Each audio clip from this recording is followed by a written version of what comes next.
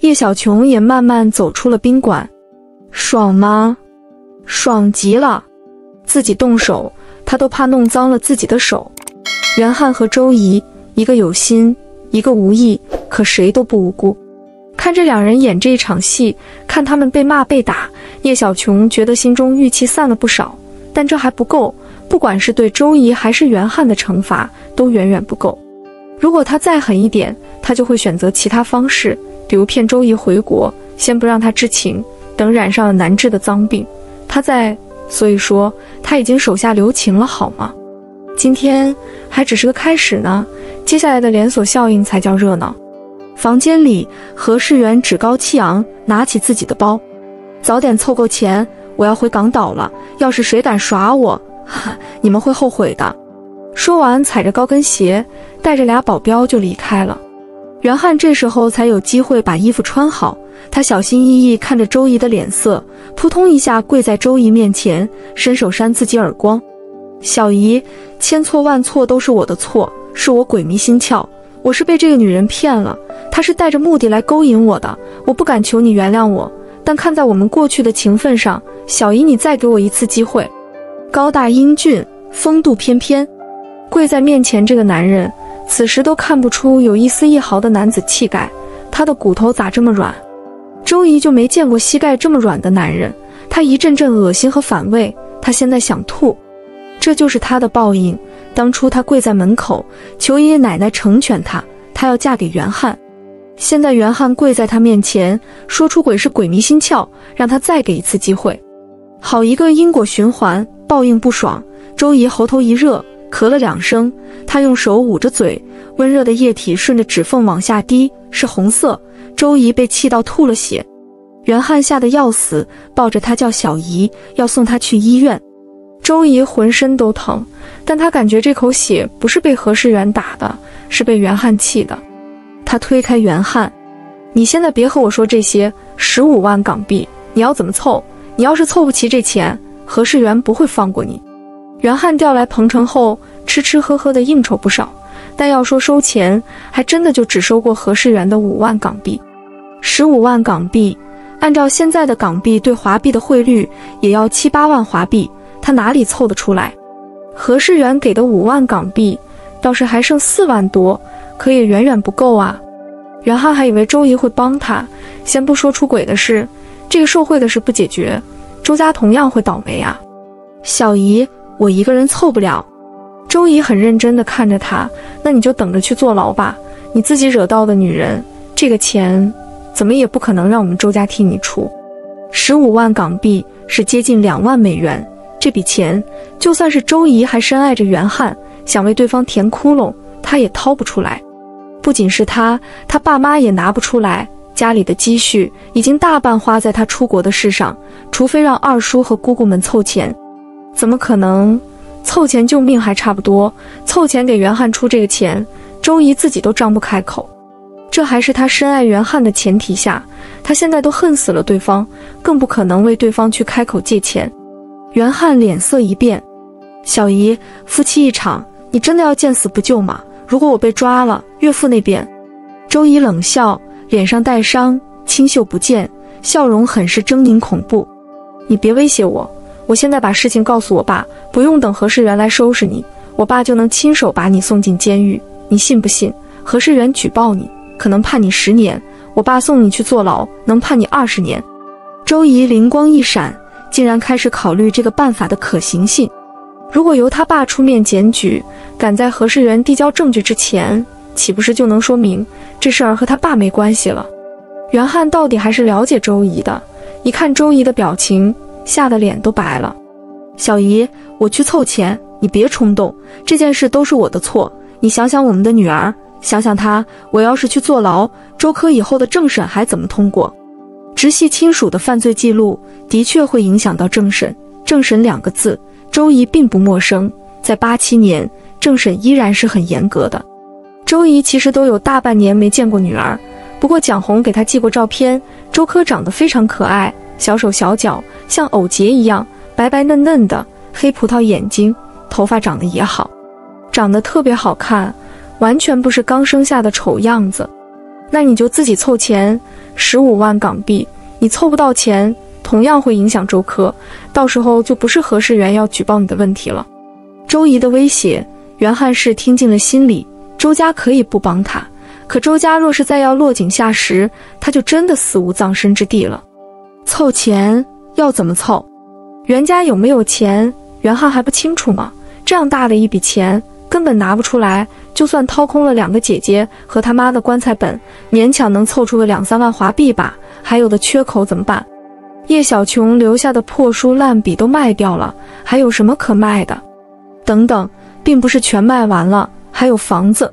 袁汉为自己找出了一点生机，他发现了救命的稻草，带着激动的兴奋道：“小姨，我有办法了，我有办法凑钱，你相信我。”夏小兰说：“这戏没啥看头了，就是典型的仙人跳手段，不过比一般的仙人跳更毒辣。”这事儿落在杜兆基手里，把袁汉收拾得要死不活，反是天头。深度挖掘下去，才真是能对周文邦造成影响，没准还能带累老汤呢。叶小琼和杜兆基的分歧，估计就是因此而起。和杜兆基闹掰后，叶小琼再报复，就是纯粹的仙人跳手法，把更狠辣的部分删除了。何世元不同意十万港币，却要十五万，这个数字挺有讲究的。之前给了袁汉五万港币，时间这么短，袁汉不可能花完，我们就姑且算他还剩四万，那还有十一万港币的缺口。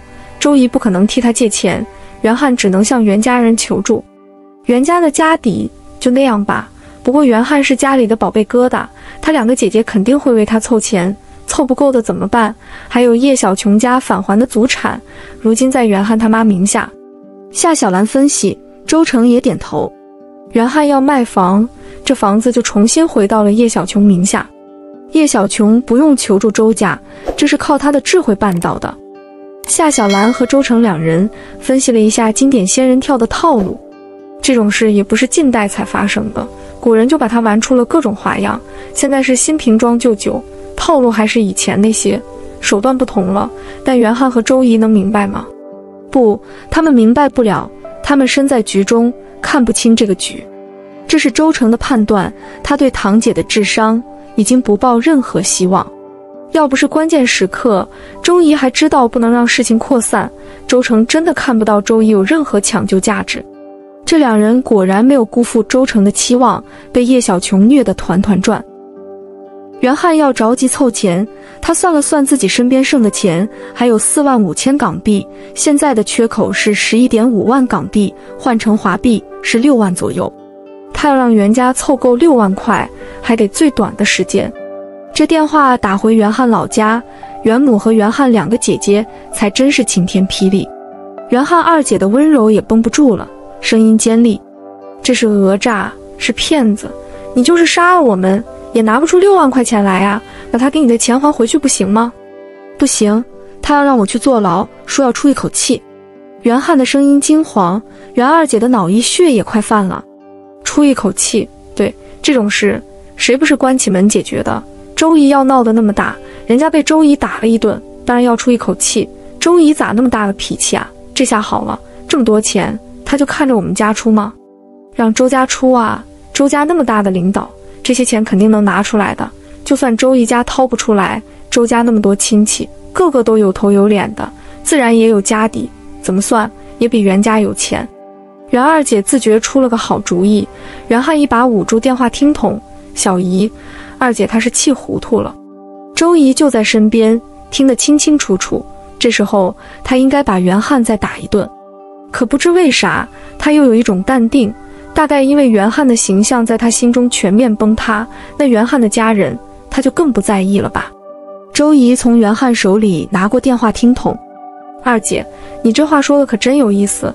袁汉和别的女人搞破鞋被我知道了，我还要委屈自己不能闹大，不小心闹大了，我还得让娘家替袁汉掏钱摆平祸事。”周姨是真的开始检讨自己了，她现在检讨的不是当初她要和袁汉在一起这事儿不能想。一想就头疼如针刺，会让他脑子彻底罢工，失去思考能力。他检讨的是和袁汉在一起后，他对袁家人的态度。袁家人好像一点都不怕他，这一家子是觉得他没有脾气吗？袁二姐尴尬极了，没想到周姨在电话旁边听着呢。小姨，二姐不是那个意思，袁汉这事儿做的太错了。但你们是夫妻，现在遇到难事儿了，先别内部闹起来，你帮他渡过难关，我们全家都记你的情，念你的好。袁二姐絮絮叨叨说了半天，周姨一声不吭。等袁二姐说完了，周姨忽然反问：“你们全家都记我情，念我好，然后呢？你们能拿出什么来还这个情？”袁汉擅长花言巧语哄女同志，他大姐脾气比较直，二姐和袁汉算是一路人，温温柔柔的，非常能说服人。一般人遇到这种性格的女同志，也不好直接反驳，不知不觉就会被她带到沟里。但周姨不是一般人啊，她直愣愣的反问，把袁二姐噎得说不出话来。是啊，袁家拿什么来偿还周姨的人情？周姨需要袁家人念她的好吗？把袁家整个捆起来，还不够周家一根指头捏的。是袁汉费尽心机攀上了周姨，要当周文邦的女婿，还出轨被抓奸在床。现在是先处理何世元的威胁，要将袁汉收钱一事捅出去。等这事儿处理好了，周姨还要不要袁汉都要打问号。因为周姨以前表现出对袁汉的喜欢程度，袁家人才有这个乐观估计，认为就算周姨发了脾气，也早晚会被袁汉哄好。袁二姐马上换了一副调子：“小姨，我也是为你们担心，为袁汉的前程操心。娘一听说这件事就气晕了，说要马上赶火车去彭城为你做主。”袁二姐还想继续说，周姨却把电话还给了袁汉：“你自己和他们说吧，净扯些没用的，过程我不想参与，凑不齐十五万港币，也是你自己去坐牢。他和袁家人扯这些干啥？”听袁二姐找各种理由替袁汉开脱，还是要担心袁汉他妈有没有被气坏？气坏了不也活该吗？又不是他气的，是袁汉自己要和何世元搞到一起。小姨，我出去透透气，你别跟着我。周姨把袁汉一个人撇下，自己跑了出去。她没想到，从抓奸到现在过了大半天时间，这都傍晚了，郑居然还在附近等她。袁汉一身是伤。不能回单位宿舍，也不好待在之前被抓奸的宾馆。俩人是先去医院简单处理了伤势后，又重新找了个宾馆躲丑。这时候还能看见郑，只能是因为对方一直跟着他。周姨眼眶都红了。郑，你刚才去哪里了？我一个人害怕。这委屈的像个二十多岁的孩子啊。周姨眼里全是对他的依赖和信任。周姨从来没想过，今天这场大戏的导演。就是他这个好朋友仲，叶小琼任由他抓着自己的手，压低了声音哄他：“我一直都在，我以为你让我在外面等，是不想让我看到你怎么处置你丈夫，清官难断家务事。我不知道你会选择怎么处理。后来你们在房间里闹起来，我就赶紧去打电话报案了。”这个说法，周姨立刻信了。派出所的公安室来的特别快，要不是公安来了，他还得被那个嚣张的何世元欺负。周姨有一腔的气愤和委屈，一股脑对叶小琼倾诉出来。何世元怎么骂他，怎么打他，又说袁汉收了五万港币，却要赔十五万的事。周姨粗枝大叶，此时脑子也是乱的，没有察觉被他抓着手的叶小琼浑身肌肉都绷紧了。就是很短的时间，叶小琼又恢复了正常。我是不是说过，让你先弄清对手的实力和脾性？不过现在事情已经弄砸了。我也不多唠叨你，但那个何世元骂你的话，到底是不是真的？你从别人手里抢到了现在的丈夫。如果夏小兰在场，就会知道，这是一个需要周姨谨慎回答的送命题。周姨不知道这是送命题，她同样不知道自己在和谁说话。眼前这个在飞机上偶遇后一见如故的朋友仲，其实就是被她抢走丈夫的女人。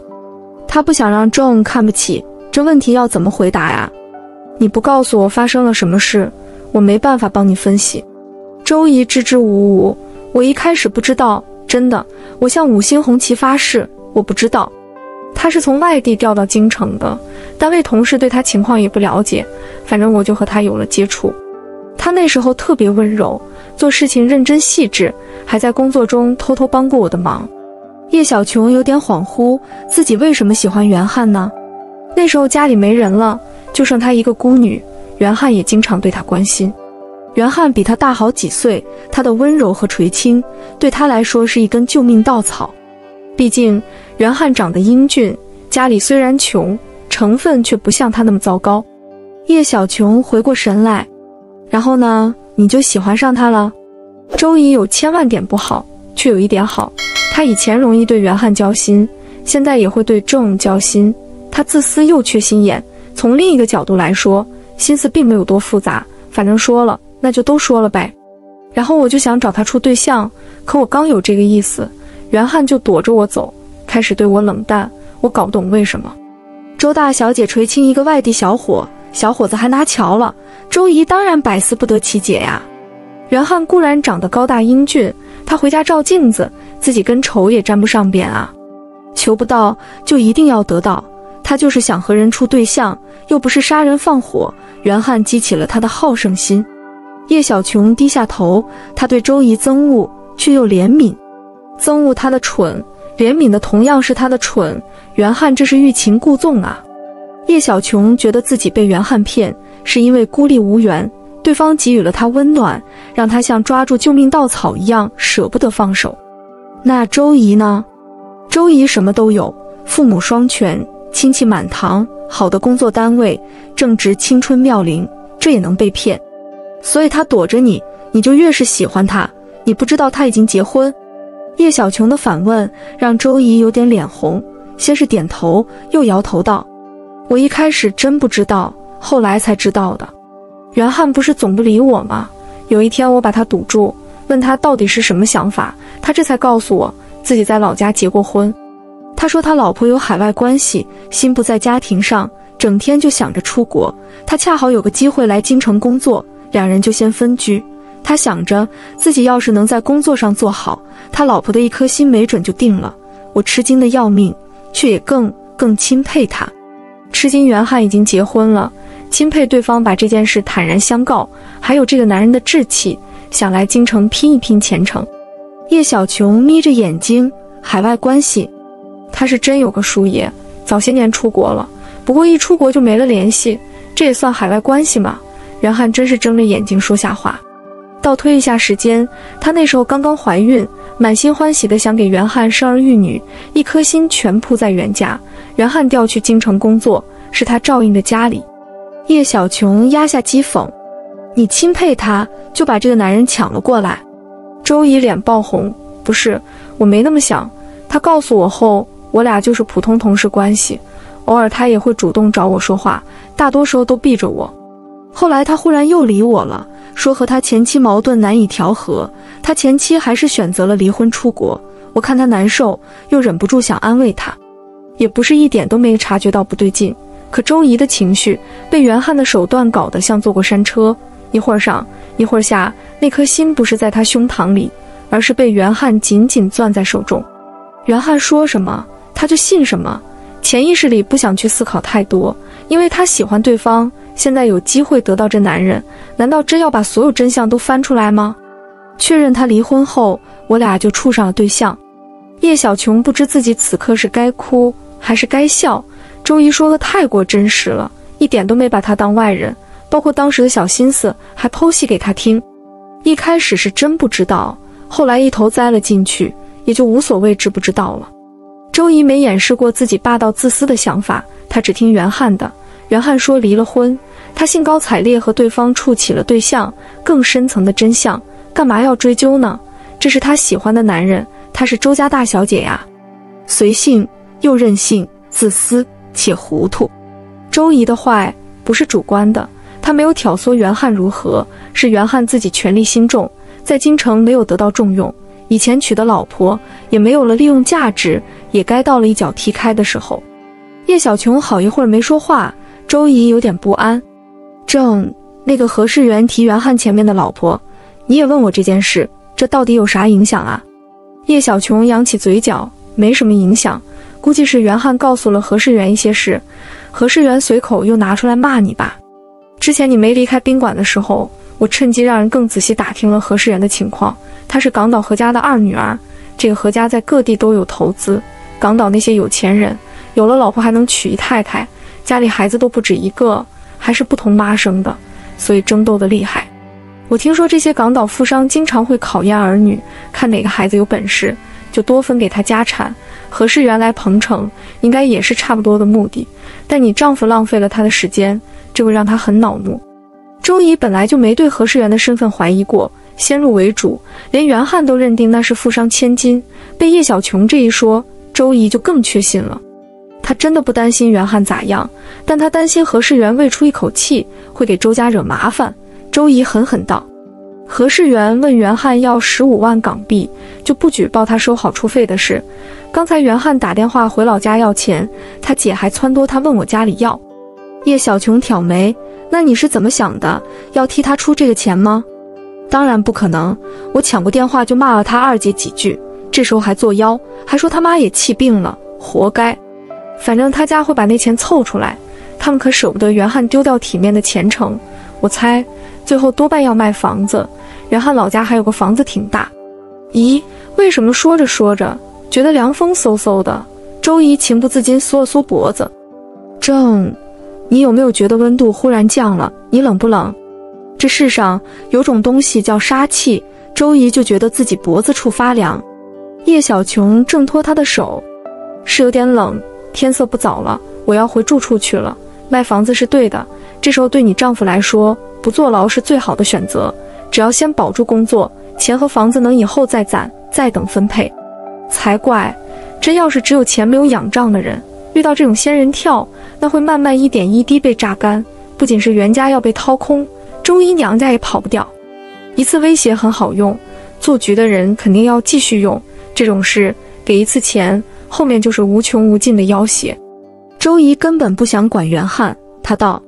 反正他自己凑钱去挣，我告诉你，等他把钱赔了，我就会和他离婚。叶小琼还挺诧异，周怡被何世元劈头盖脸的打一顿，脑子居然有点开窍了。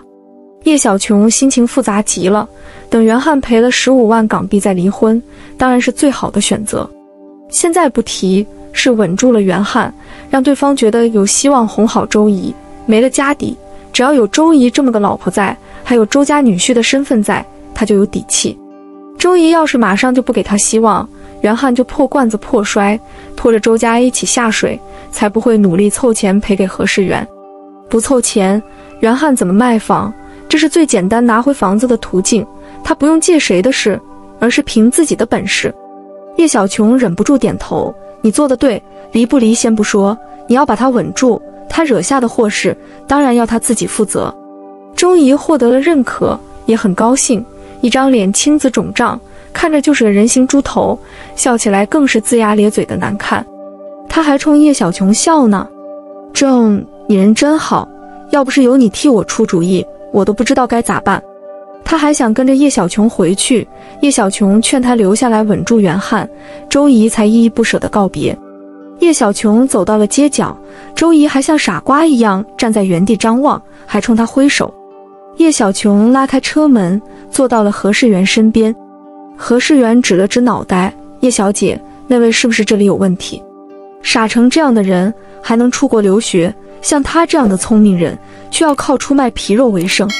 还有叶小姐，人好看，心善良，以前却所遇非人。”何世元已经搞不清楚这世界是怎么回事了。善良好看的女人混不下去，像她这样漂亮的坏女人也不好混。像周姨这样的。居然能活得滋滋润润，还有没有天理啊？早知道刚才应该打得更厉害一点。好了，你把她打出大问题，你自己就会有麻烦。现在不好吗？你不喜欢这样的蠢人，你打了她还没麻烦。身体上的一点折磨不算什么，今天是摧毁了周姨的自尊，现在还没全面崩溃，是靠一股对袁汉的怨气撑着。等到周姨知道他的身份。叶小琼抬起头，那才是彻底击溃周怡的时候。何世元点头，那感觉可真不错。要能找机会再打一次就更好了。大庭广众之下打人，不用被抓，被打的还要委屈替他遮掩，这种事说出去谁信？叶小姐，接下来是不是就等着姓袁的卖房子了？嗯，我们得给他安排一个合适的买主。什么是合适的买主？当然是叶小琼叫去的人。就像今天何世元那两个保镖，花点小钱就能雇，找人出面替叶小琼买回房子，钱是出了，袁汉敢乱用吗？转手又把钱给了何世元。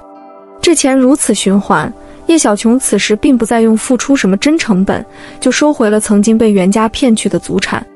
袁汉的损失就大了，除了房子，还要掏空袁家人的家底。叶小琼也想过走正规途径拿回房子。当时返还祖产时，她和袁汉已经结婚，房子还回来时就写了她和袁汉两个人的名字。袁母搬进房子，整天都不舒服，找不自在，说自己住儿媳妇的房子，说外面人会笑话袁汉吃软饭，闹来闹去。为了家庭和平，房子又改成了袁母名下。都是叶小琼当日脑子进的水，如今脑子里的水和眼泪一起流干了。事实却无法更改了。用这种手段拿回祖产，不仅毫无后遗症，真相揭露时，袁家人大概真的会活活气死。他们曾经随便欺负的人，把他们全部玩弄在鼓掌中，看着他们惊慌，看着他们害怕，还要看着他们吐血懊恼，这岂不是很好玩？多的时间都等了，也就是两三天的功夫，叶小琼还等得起。有时候我还挺佩服周姨的。别人是不撞南墙不回头，她是撞了还不觉得疼。都到这时候了，周姨还不肯和家里通气，认为自己能处理好吗？这货对自己的能力有多大，心里是完全没数的呀。夏小兰的吐槽，周成完全没法接。这真是他堂姐吗？如果不是周姨长得像周文邦和蒋红，周成会怀疑当年大伯母生产时在医院抱错了孩子。他把这个想法和小兰一分享。夏小兰笑得直不起腰，我男人真可爱，你男人可不仅是可爱。周成把她腰揽住，拉近了距离。夏小兰把嘴靠过去，快挨到周成耳朵了。周成还以为自己会获得一个吻，哪知夏小兰却坏笑哈气。你不看看几点了？这样抱着我，不怕汤叔回来又撞上吗？那还真有点怕。汤市长神出鬼没，无师自通，成了最专业的潜伏者。也不分是不是上班的时间点，他都有可能忽然出现。有时是回来拿文件，天知道为什么市长要亲自跑回家拿文件，这分明就是无孔不入的监视啊！周成恋恋不舍，把人放开，道：“我们真的需要在彭城有个自己的房子了。在京城倒是买了不少，但那些四合院都是听小兰的话用来投资的，现在还基本上都被小兰租了出去。”说到房子，夏小兰一下来了兴趣。从沙发上站起来，拉着他道：“那你跟我去公司看新楼盘的沙盘，你喜欢哪一层？喜欢什么户型？还有房子的朝向，我们一起挑。我带你挑个房，不用再过二三十年，就是现在。”这话随便对哪个女同志说，妥妥也是要结婚的节奏了。还挑什么房呀？年轻男同志要是能在单位分到房，自然有无数热心老阿姨帮忙牵线做媒。自然界的雄性求偶前都知道有个窝呢，房子还真是婚恋市场的硬通货。八十年代是要求有分房，将来是要求有独立婚房。有独立婚房的小伙子，相亲干啥的都有底气，对自己喜欢的姑娘说：“我带你去挑个房。”这诚意满的都快溢出来了。只是现在是夏小兰反过来对周成说而已，奇怪吗？一点都不奇怪，嘴里叫着男女平等，行动上就要体现。谁带谁选房，并没有什么差别。周成在京城买的那些四合院，早就想都转到夏小兰名下。是夏小兰自己觉得，还没结婚就把财产混在一起不好。周成其实根本不挑住所，单人宿舍他不照样住吗？不过在彭城是得有个独立的空间了。不仅是他和小兰更自在，这边市政府家属院的房子，汤洪恩和刘芬也不用被打搅。周成不挑住所。但能和自己媳妇一起去选房子，他还是很有兴趣的。两个人共同选的，就是两个人的家呀，不用特别大，不用特别奢华，有私密的空间，够温馨。周成遐想了一下婚后一起生活的画面，对挑房子充满积极性。夏总，夏总，您来了。葛健很快就跑过来。夏总，周先生。夏小兰点头，我记得新楼盘的沙盘做好了，对不对？我和周成选一套房子。咦，夏总终于要在彭城安家了吗？以前金沙池的房子那么火爆，夏总一套都没自留。当然，可能也正因为太火爆了，自己留一套就少赚一套房的钱。那是公司刚起步，资金很紧张吧？葛建倒没说什么，大老板要挑一套房，有什么奇怪的？启航是夏小兰独资的，他就是说某一栋房子修好了不卖，大家也得听着呗。周成站在沙盘边上，启航的几个女员工就有点犯花痴了，长得太精神了，这样的对象也就只有夏总拿得住了。站得好直，听说是部队的，是啊，还是个年轻军官。周成的耳朵不聋，能听不见别人的议论吗？他笑着看小兰，夏小兰自己耳根有点红，把那些人都轰走了。你们赶紧去做事，要做策划的，要写方案的。媳妇儿，你为什么不好意思？夏小兰坚决不承认，我没有。你赶紧选。周成指着顶楼，这套怎么样？视野一定特别好，但楼层高了些，遇上停电有点麻烦。电梯高层是有这个问题，有些人不愿意买顶楼，怕冬天太冷，夏天太热。停电难上楼，还有雨季期间楼顶天台会不会漏水？这些东西夏小兰倒不会过多担心。为啥她重生后要拼命赚钱呢？除了为事业奋斗的过程很爽，就是手里有钱真的会很快乐。手里没钱，干啥都抠抠搜搜的。如果预算不封顶，房子有任何不便都能改造啊，反正是自己盖的楼盘，质量上有保障。其他小问题，装修时投入大一点。就完全能防范呀！夏小兰和周成凑在一起看了会儿，两人就敲定了这套顶楼。这是新楼盘罕见的大户型了，加上楼顶天台有半层，近二百平方米，户型什么的，夏小兰虽然交给别人弄，当初也是亲自把关过的。确定房子后，夏小兰来了兴趣，自己拿了纸和笔，对照着户型图和周成讨论房子怎么设计，哪里是主卧，哪里是客卧。哪里是书房？房子还没见着呢，两人都讨论的挺兴致勃勃。这是两人第一次讨论家的问题。媳妇儿，这套房子你会亲自设计吗？当然，我们自己住的房子，我才不会交给别人设计。主卧一个，客卧一个，书房是准备两个还是一个呢？我和你将来工作时会不会有干扰？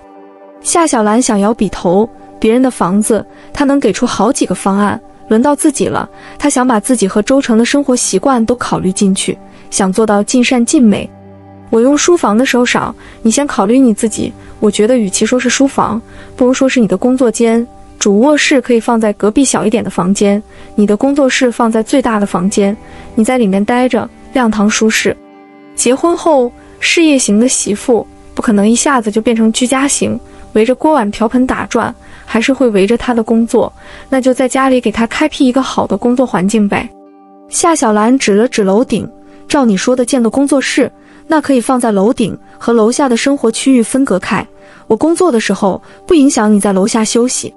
万一他要画图，周成却想看个电视呢？楼上楼下的距离正好。周成觉得好冤，他啥时候痴迷过看电视？有他媳妇在，他还看什么电视？难道他媳妇没电视剧好看？俩人正在一起讨论呢。小尤轻轻敲门：“夏总，徐长乐先生来找您。”“嗯，让他等一会儿。”掉头就对周成说道：“徐长乐怎么忽然过来了？奇怪。”周成很肯定，绝对是为了徐家的家务事。你有没有发现，你都成徐家的救火员了？怎么处置蒂娜这个多出来的孙女？与奶奶和徐仲义父子俩一直没有达成共识。他们明明是一家人，却缺少不了你和刘姨这个纽带。为什么不找刘芬呢？因为老汤处在那里，老汤的态度就是不搭理徐仲义，徐长乐自然不会找刘芬，找小兰，同样是年轻人，觉得更好说话呗。周成把手交握搭在膝盖上，夏小兰觉得这姿势帅中带着坏，让人移不开眼睛。然后他家橙子冲他笑，露出点白牙。等他进来后，有什么事让他找我说。夏小兰疑惑，周成却罕见的没有解释，不敢找刘芬，因为老汤杵着，却敢什么事儿都找小兰擦屁股，难道他就是吃素的吗？